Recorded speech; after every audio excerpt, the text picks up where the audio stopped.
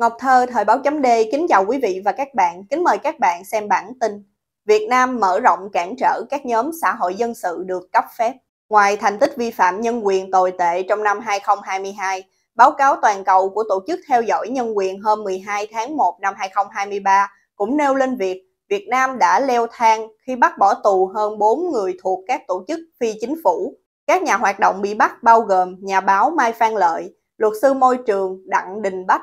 nhà hoạt động truyền thông về môi trường Bạch Hùng Dương và nhà bảo vệ môi trường Nguyễn Thị Khanh. Cả bốn người đều bị khởi tố tội trốn thuế. Đáng chú ý, tội danh trốn thuế từng được các cơ quan chức năng Việt Nam sử dụng để bắt giam một số nhà hoạt động xã hội công khai chỉ trích chính phủ trong những năm qua, như trường hợp của luật sư Lê Quốc Quân, blogger điếu cày Nguyễn Văn Hải, nhà báo Trương Duy Nhất, Tuy vậy, chính quyền Hà Nội cho thấy họ đã mở rộng phạm vi đàn áp khi nhắm vào những người từng hoạt động công khai với các dự án bền vững và có đăng ký với nhà nước cũng như được cộng đồng quốc tế hỗ trợ. Hình ảnh phúc trình nhân quyền Việt Nam của Tổ chức Theo dõi Nhân quyền. Phản ứng trước việc bắt giữ và khởi tố tội trốn thuế đối với nhà báo Mai Phan Lợi và luật sư Đặng Đình Bách, Ủy ban Bảo vệ Nhân quyền làm người Việt Nam VCHA vào ngày 8 tháng 7 năm 2021 đã ra thông cáo báo chí nhận định rằng đây là biện pháp nhằm ngăn chặn tiến trình hình thành nhóm tư vấn trong nước DAG, bao gồm các nhóm xã hội dân sự độc lập theo quy định của Hiệp ước Mậu dịch tự do Liên Âu Việt Nam EVFTA. Vào thời điểm bị bắt, ông Mai Phan Lợi là Chủ tịch Hội đồng Khoa học Trung tâm Truyền thông Giáo dục Cộng đồng MEC, còn ông Đặng Đình Bách là Giám đốc Trung tâm Nghiên cứu Pháp luật và Chính sách Phát triển Bền vững LBSD. Hai ông Mai Phan Lợi và Đặng Đình Bách là thành viên trong ban điều hành mạng lưới VNGO EVFTA, bao gồm 7 tổ chức xã hội dân sự thành lập vào tháng 11 năm 2020. Mục đích của mạng lưới này được cho biết nhằm phổ biến thông tin về Hiệp định Mậu dịch tự do Liên Âu Việt Nam EVFTA, hình thành nhóm tư vấn trong nước DAG và các nhóm xã hội dân sự Việt Nam. Hình ảnh thông cáo báo chí trên website của Ủy ban Bảo vệ quyền làm người Việt Nam. Trong khi đó, việc khởi tố bà Nguyễn Thị Khanh, Giám đốc Trung tâm Phát triển Sáng tạo xanh Green ID của nhà cầm quyền Cộng sản bị cho là sự gia tăng đàn áp nhằm bịt miệng các nhà hoạt động về môi trường ở Việt Nam. Bà Khanh là người Việt đầu tiên nhận giải thưởng môi trường Goldman,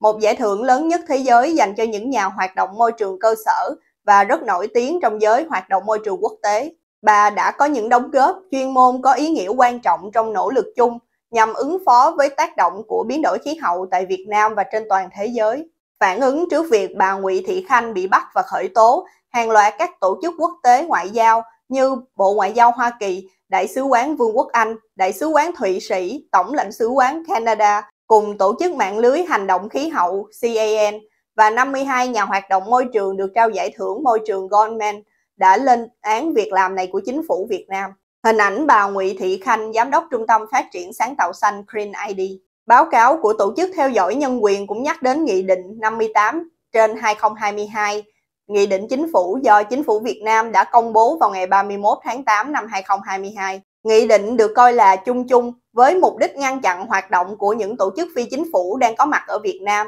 như không phù hợp với lợi ích quốc gia, vi phạm pháp luật, xâm phạm quốc phòng, an ninh, trật tự xã hội và trái với đạo đức, thuần phong mỹ tục truyền thống bản sắc văn hóa dân tộc, phá hoại khối đại đoàn kết dân tộc Việt Nam. Tuy nhiên, nghị định này lại không miêu tả cụ thể mà chỉ đề cập các khái niệm từ ngữ hết sức đại khái.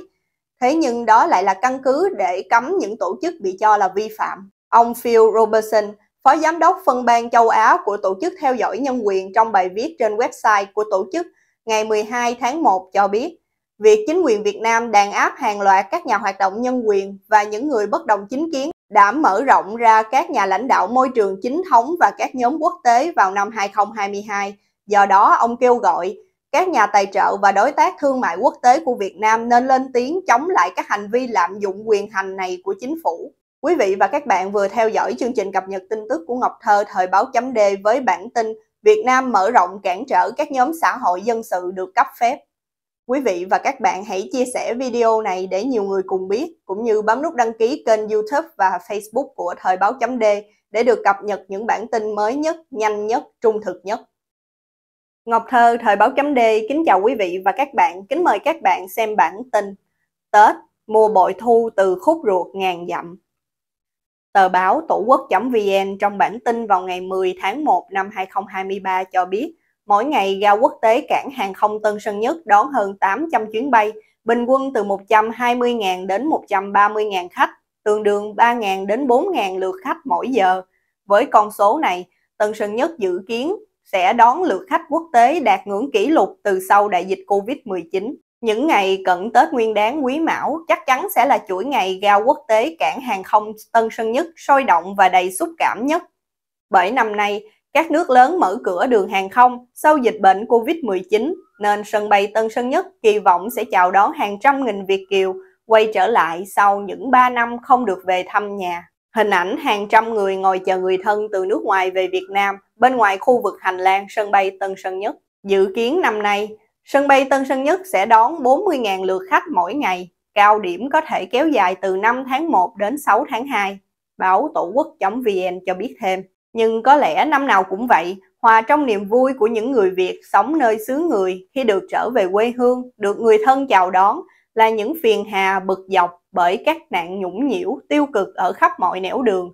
từ khi bắt đầu lên kế hoạch về thăm Việt Nam. Nhưng đối với các cán bộ đại sứ quán, lãnh sứ quán Việt Nam ở nước ngoài và hải quan an ninh sân bay thì là dịp còn vui hơn Tết, vì thời điểm cận Tết là mùa bội thu ngoại tệ từ Việt Kiều về nước. Dạo một vòng trong nhóm Facebook tôi và sứ quán, không khó để tìm thấy những bài viết, bình luận của nhiều khúc ruột ngàn dặm ở khắp nơi trên thế giới nói về những trải nghiệm của họ từ khi bắt đầu muốn về quê hương, hưởng cái Tết bên người thân. Một Facebooker có tên Đỗ Rina chia sẻ, ở nước ngoài thì bị lãnh sứ quán hành, về tới sân bay thì bị hải quan hành. Trả lời bình luận của Đỗ Rina, Facebooker tên Nguyễn Thị Huyền Trang, người chia sẻ bài viết du khách người Singapore tố nhân viên xuất cảnh, vòi tiền ở sân bay nội bài đồng tình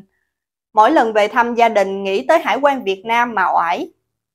Hình ảnh nhóm tôi và sứ quán trên Facebook. Đối với phần đông kiều bào, việc nghe nói về các tiêu cực, nhũng nhiễu và trộm cắp khi về Việt Nam tương đối sẽ cảm thấy bình thường. Tuy nhiên nếu chưa tận mắt thấy tai nghe hoặc chính bản thân chưa rơi vào hoàn cảnh đó thì khó có thể nhận thấy được sự khốn khổ. Nhiều Việt Kiều tỏ ra bức xúc hơn vì phải đối phó với vô số cửa ải làm tiền từ cửa ngõ sân bay cho đến khi đặt chân tới nhà. Một Facebooker khác có tên Huỳnh Ngọc Khánh Linh vừa về nước bình luận dưới bài viết của Nguyễn Thị Huyền Trang. Mình mới về tới Sài Gòn hôm tối 31 tháng 12 và bị rất nhiều nhân viên sân bay làm tiền. Phải cúng đâu đó hơn 100 đô vì nhiều người tới hạch sách, cứ mỗi người là phải đưa 10 tới 20 đô nên cũng không biết con số chính xác là bao nhiêu. Đi một chuyến bay dài đã mệt mỏi mà về tới đất mẹ còn phải đấu trí với những người này thì thực sự vừa chán vừa sợ chẳng muốn về nhiều. Hình ảnh du khách người Singapore đăng bài tố cáo anh bị nhân viên an ninh sân bay nội bài vòi tiền tiếp vào ngày 2 tháng 1. Chia sẻ với BBC News tiếng Việt hôm 4 tháng 1, ông Hoàng Hùng, một trong những quản trị viên của nhóm tôi và sứ quán nêu ý kiến. Theo tôi thì trước hết, nhà nước phải trả lương xứng đáng với việc của các công chức và xử lý nghiêm khắc các trường hợp vòi vĩnh này. Về phía người dân, thì phải kiên quyết không đưa tiền cho các công chức này và phản ánh ngay khi bị vòi vĩnh. Những người ở xa xứ chặn đường trở về nhà xa vạn dặm, gặp nhiều trắc trở, nhưng trong tâm trí mọi người, quê hương là nơi trú ngụ bình an của tâm hồn. Dẫu rằng có những việc không mong muốn xảy ra, nhưng đối với đa số người, họ vẫn coi đó là chuyện vặt vảnh không đáng quan tâm bên cạnh niềm vui được đoàn tụ với gia đình. Tuy nhiên, những tiêu cực như thế từ lâu đã là ung nhọt và không bao giờ được chữa khỏi, chỉ càng góp phần làm cho đất nước trở nên xấu xí, không chỉ trong mắt kiều bào mà còn đối với du khách nước ngoài,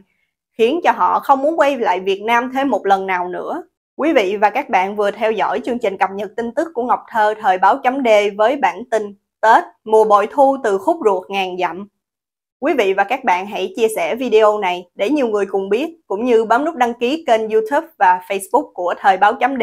để được cập nhật những bản tin mới nhất, nhanh nhất và trung thực nhất. Ngọc Thơ, Thời báo chấm D